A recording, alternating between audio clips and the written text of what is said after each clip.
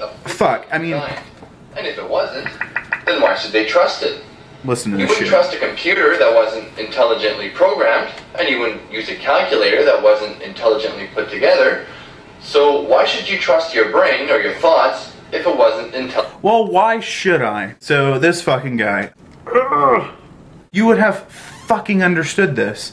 Fucking function. Total fucking badass. I haven't walked across a fucking highway. Another fucking thing that you don't ever seem to understand. Your reasoning is so Eric Hovind like.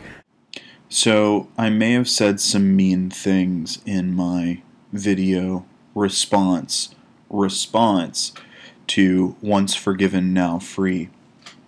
Uh, in the middle of editing it, uh, my wife called me and asked me to go to a movie, uh, and so I had some time to think about what I said, and I wanted to rephrase things uh, a little bit more clearly.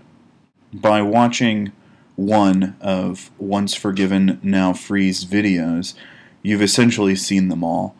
Usually, they start with a faulty understanding of something, and then it builds on from there into some other ridiculous conclusion. Uh, this one is essentially a reframing of Eric Hovind's uh, argument of generally uh, the assumption of solipsism for an atheist, uh, which the only real answer is an axiom.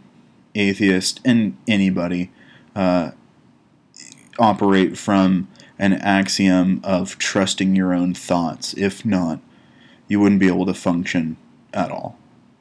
We don't operate on absolute truth, and this is a problem that you're asserting. Uh, and it's also a problem that you made up.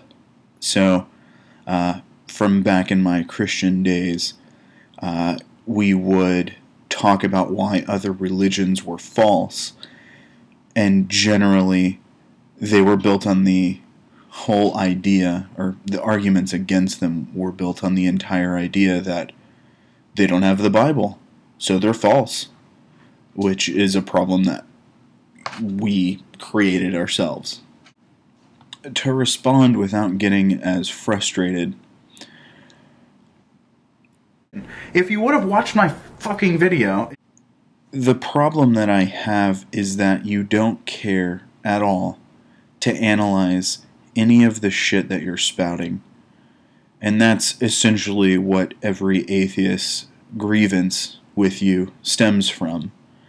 Uh, your ability to parrot whatever crap you hear from apologists without checking them out um, is essentially the root of all of the problems that you're having. And you may feel comfortable just uh, assuming there's absolute truth and then stumping everybody that can't uh, contend with that because it's a ridiculous claim.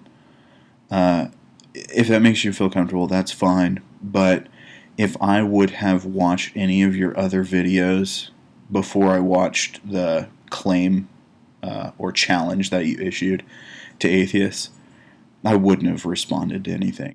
I. Uh, this is why I don't put comments on fucking YouTube videos. And if you're wondering, the movie was Runner Runner, which was uh, Justin Timberlake and Ben Affleck. Um, there's a lot of Justin Timberlake technobabble that it's evident that he has no idea what the fuck he's talking about. Uh, and that kind of took me out of the movie a little bit. Uh, and Ben A just plays a generic bad guy, asshole.